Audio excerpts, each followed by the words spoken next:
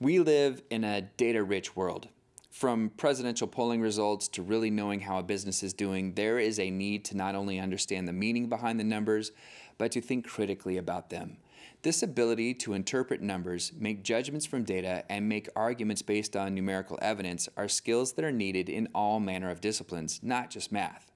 This ability, sometimes called numeracy or quantitative literacy, is a skill that must be specifically addressed in curriculum so that today's students are comfortable working with, understanding, and making arguments based on numbers. Quantitative literacy is much more than just knowing how to make computations. The emphasis is on solving real world problems by using numerical information and includes comfort and skill in interpreting data, recognizing when numerical manipulation is useful, being competent to make computations when needed, using numbers to solve problems, and the ability to present numerical information to others. In most math and statistics courses, this learning objective would be essential or important, but it may also be a critical objective for other courses such as sociology or business, where working with data is a vital learning objective. If you choose this objective, there should be specific activities designed to help students develop these skills rather than just requiring that they use numbers.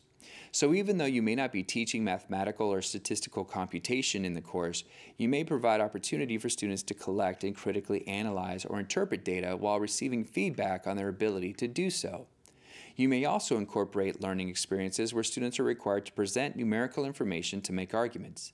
The ability to not only understand, but then interpret and make arguments for a position based on numerical information is a critical part of the skill.